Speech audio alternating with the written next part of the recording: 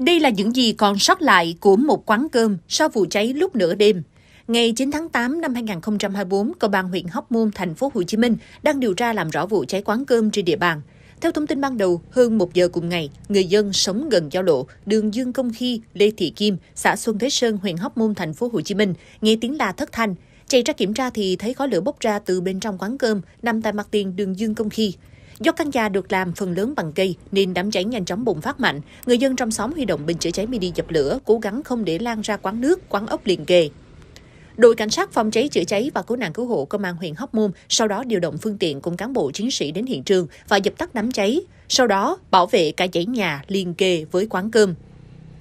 Theo người dân, cả dãy nhà trên đường Nguyễn Công Khi này được dựng bằng cây và che chắn bằng tôm để kinh doanh, cũng như ngăn ra cho thuê làm quán ăn, quán nước. Trong đó, quán cơm chỉ hoạt động ban ngày. Thời điểm xảy ra cháy, bên trong quán không có người. Vụ cháy đã thiêu rụi nhiều tài sản bên trong quán cơm này. Nguyên nhân cũng như thiệt hại từ vụ cháy đang được công an làm rõ. Vụ việc nhánh cây xanh trong công viên Tao Đàn, phường Bến Thành, quận Nhất, thành phố Hồ Chí Minh gãy, rơi xuống đất, diễn ra khoảng 6 giờ sáng 9 tháng 8 năm 2024. Ngay thời điểm nhiều người dân đang tập thể dục buổi sáng, vẫn còn khiến nhiều người bàng hoàng. Đang tập thì mình đứng ở dưới cái cây, còn mấy anh chị kia thì đứng là trước phía sau, đứng xa ra chút là mấy người đó thấy rõ hơn. Thì nghe la là cây à, cây đổ như vậy á thì lúc đó tôi là hoảng loạn rồi đâu có chạy được từ nó cái cây nó nó nó bự mà nó nặng nên nó rớt trực diện thì nó rớt nhanh mình né không có được. Thì một cái nhánh ở trong cái cây đó nó đập cái lưng mình nó té nằm sắp xuống. Vụ việc khiến hai người chết tại chỗ, ba người bị thương được đưa đi cấp cứu tại Bệnh viện Đa khoa Sài Gòn và Bệnh viện Nhân dân 115 theo Trung tâm Quản lý Hạ tầng Kỹ thuật Thành phố Hồ Chí Minh, nhánh cây dầu có kích thước lớn, chu vi nhánh khoảng 1m2, dài khoảng 10m, rơi từ độ cao khoảng 25m. Qua quan sát ban đầu, nhánh gãy có khiếm khuyết bên trong, không thể hiện bên ngoài, cành tươi và lá xanh bình thường. Vụ việc cũng khiến nhiều người dân tại thành phố Hồ Chí Minh đặt ra nhiều câu hỏi về công tác chăm sóc các tỉa cây xanh ở đây và lo ngại về nguy cơ xảy ra những sự cố tương tự.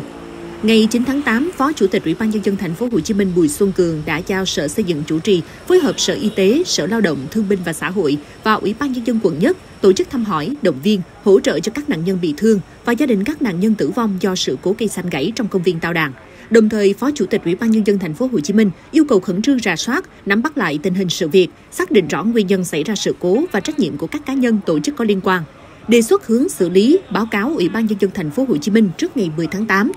Ông Bùi Xuân Cường cũng giao Sở Xây dựng và chính quyền các quận huyện, thành phố Thủ Đức phối hợp các cơ quan, đơn vị khẩn trương tổ chức kiểm tra toàn diện về khả năng đảm bảo an toàn của hệ thống cây xanh công cộng trên địa bàn. Trên cơ sở đó, xử lý kịp thời, phù hợp đối với những trường hợp cây xanh có nguy cơ gãy đổ, gây mất an toàn. Sau khi xảy ra sự cố này, Phó Bí thư Thường trực Thành ủy Thành phố Hồ Chí Minh Nguyễn Hồ Hải đến bệnh viện Nhân dân 115 thăm hỏi, động viên nạn nhân, đồng thời đề nghị đội ngũ y bác sĩ tập trung điều trị,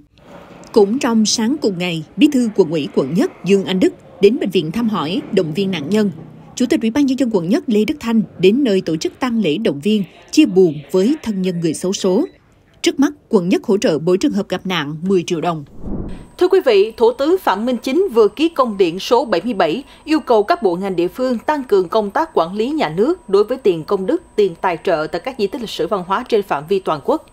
Công điện nêu rõ, thời gian qua, việc triển khai Nghị định số 110 năm 2018, Thông tư số 04 năm 2023 của Bộ Tài chính, công tác quản lý nhà nước đối với tiền công đức, tiền tài trợ tại các di tích lịch sử văn hóa trên phạm vi toàn quốc đã đạt được một số kết quả nhất định. Hầu hết các địa phương đã xây dựng và ban hành văn bản quy định về quản lý tiền công đức tài trợ, bảo đảm phù hợp với thực tế của từng di tích và phong tục tập quán của địa phương. Nguồn thu công đức tài trợ tại các di tích đã được sử dụng công khai minh bạch, không những cho việc tu bổ, tôn tạo di tích và tổ chức lễ hội, tạo sức hấp dẫn đối với du khách, đóng góp tích cực cho các hoạt động cộng đồng. Tuy nhiên, bên cạnh những kết quả đạt được, công tác quản lý nhà nước đối với tiền công đức, tiền tài trợ vẫn còn một số hạn chế. Số liệu báo cáo thu chi tiền công đức tài trợ của các di tích kể cả di tích xếp hạng quốc gia đặc biệt mới chỉ phản ánh một phần, chưa đầy đủ. Còn một số cơ sở di tích lịch sử văn hóa chưa báo cáo kịp thời, đầy đủ công tác quản lý tiền công đức, tiền tài trợ, chưa thực hiện lắp đặt camera để giám sát tại các điểm tiếp nhận, kiểm đếm tiền công đức tài trợ. Bên cạnh đó, vẫn tồn tại tình trạng du khách đặt nhiều loại tiền, trên các ban thờ tại các di tích làm mất đi sự tôn nghiêm, thanh tịnh nơi thờ tự. Việc quản lý tiền công đức, tiền tài trợ có lúc có nơi chưa chặt chẽ, tiềm ẩn rủi ro để thất thoát trộm cắp.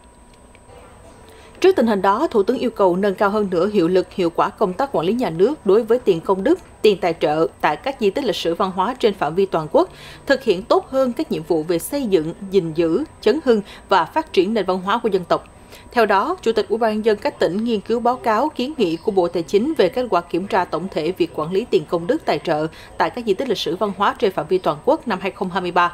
Chủ tịch Ủy ban nhân dân các tỉnh chỉ đạo các tổ chức cá nhân có liên quan công khai minh bạch việc thu chi các khoản công đức tài trợ cho di tích và hoạt động lễ hội và cung cấp thông tin kịp thời khi được cơ quan chức năng có thẩm quyền yêu cầu theo quy định của pháp luật. Thủ tướng yêu cầu xây dựng kế hoạch kiểm tra định kỳ và tăng cường kiểm tra, giám sát, bảo đảm tiền công đức tài trợ cho di tích và hoạt động lễ hội được sử dụng chặt chẽ, công khai, minh bạch, hiệu quả, đúng mục đích, đúng quy định, kịp thời phát hiện chấn chỉnh và xử lý nghiêm các tổ chức cá nhân vi phạm theo quy định của pháp luật. Tuyệt đối không để xảy ra lãng phí tiêu cực tham nhũng, lợi dụng hoạt động tín ngưỡng, hoạt động tôn giáo để trục lợi, phục vụ lợi ích cá nhân. Thủ tướng cũng giao Bộ trưởng các Bộ Văn hóa Thể thao và Du lịch, Tài chính theo chức năng nhiệm vụ thẩm quyền được giao, có trách nhiệm hướng dẫn Ủy ban dân các địa phương, cơ quan, đơn vị liên quan trong công tác quản lý tiền công đức, tiền tài trợ tại các di tích lịch sử văn hóa theo quy định. Đồng thời nghiên cứu đề xuất cấp có thẩm quyền trong quý 4 năm 2024 để bổ sung quy định về trách nhiệm quản lý nhà nước của chính quyền địa phương các cấp trong việc quản lý tiền công đức, tiền tài trợ tại các di tích lịch sử văn hóa và chế tài xử lý nghiêm khi để phát sinh sai phạm. Dù mới đưa vào hoạt động từ tháng 7 năm 2024, cầu bộ hành bắc qua kênh Du Lộc Thị Nghè có tổng mức đầu tư khoảng 10 tỷ đồng, đã xuất hiện những hình vẽ graffiti nhếch nhác, xấu xí. Những vệt vẽ này nằm ngay tại chân cầu bộ hành thuộc đường Hoàng Sa, quận Nhất. Không kể là hình vẽ bậy mà ngay cả tờ rơi, quảng cáo cũng được dán lên thân cầu, khiến cho nhiều người không khỏi ngán ngẩm. Thấy uh, làm cũ, cũ đi của người ta thôi chứ công trình mới mà đi vẽ bậy lên đó thì nó thấy nó không hay lắm không hiểu gì phản cảm làm xấu đi nó vẽ bậy gì chứ thấy cái gì ờ, không biết quảng cáo cho cái gì mà thấy nó không cái gì hay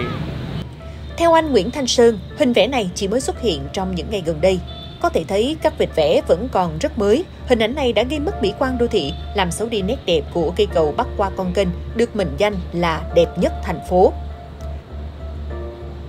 cho mình thấy mấy cái hình ảnh nó nó hơi là bị uh, tại nó không nó không có ý nghĩa gì đó nên mình thấy nó có thể phá cái hình ảnh của cái cầu thì mình thấy cái việc này nó nó là không tốt á. Và mấy cái cái cái vẽ hình graffiti bên nước ngoài nó có thể là nó phổ biến nhưng mà bên mình thì thấy là những cái hình vẽ này nó sự là nó không đẹp nó không có ý nghĩa nên mình thấy nó một cái hành động xấu anh Nguyễn Nhật Toàn thường xuyên đến cây cầu này để chụp hình ngoại cảnh Việc xuất hiện những hình vẽ nhếch nhác này khiến cho anh cũng như nhiều người dân tại đây ngao ngán. Không riêng gì cây cầu này mà trước đó thành phố Hồ Chí Minh cũng đã có nhiều công trình công cộng bị vẽ bậy, không kể là chân cầu hay trạm xe buýt. Sự cái lúc chụp hình thì mình không có muốn dính phải mấy cái đó nên hầu hết là mình sẽ bỏ qua nên kiểu là nhiều khi cũng có những cái góc đẹp á nhưng mà bị dính mấy hình đó thì mình không có thể mà đưa lên cái này phải uh, cơ quan chức năng nên có cái hành động gì đó để thể là phải điều tra ra được người cái người vẽ trước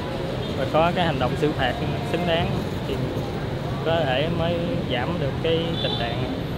Cầu bộ hành này nằm trong dự án cấp ngầm 220 kV Tao Đàn Tân Cảng do công ty truyền tải điện Việt Nam làm chủ đầu tư với quy mô dài 100m, rộng hơn 2m.